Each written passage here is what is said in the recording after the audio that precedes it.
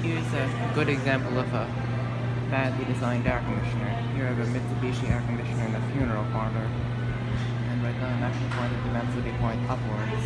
But the thing is, there is still air that comes out of here and goes directly downwards. It is not a very ideal design. The whole point of is that you don't want the, you don't want the breeze, you don't want the direct cold draft. And even you point the up here, you're still getting the direct cold draft because there's, a little gap. Anyways, that's it. Thanks for watching.